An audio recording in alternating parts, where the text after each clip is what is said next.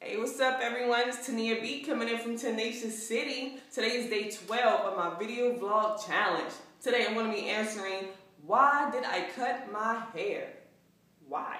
Check this out. For many years, my hair has been like this. For many, many, many years, okay? I was getting perms to keep it up, like this.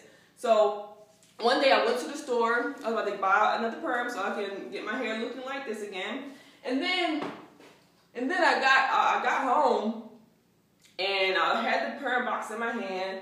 I was like standing in front of the mirror. I was about to do it. And I'm looking at the box. And then I looked in the mirror.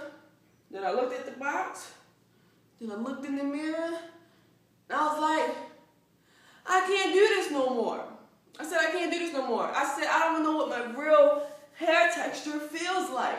I've been getting perms since I was a little girl, okay? So I never actually get the chance to know what is my real hair texture, okay?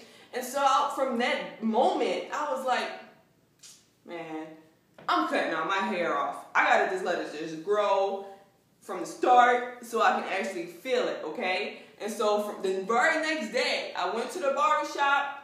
It was a day up in August. I cut my hair real, real low.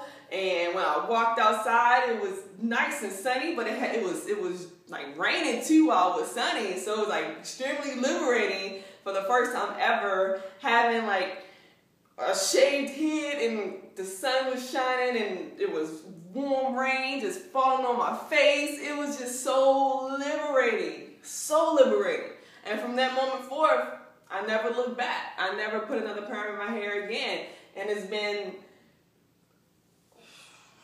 definitely more than six, seven years perhaps that my hair has been like this and it's great. I love it. So there you have it. Why I cut my hair because I did not want to put any more chemicals in it. Okay? Simple as that.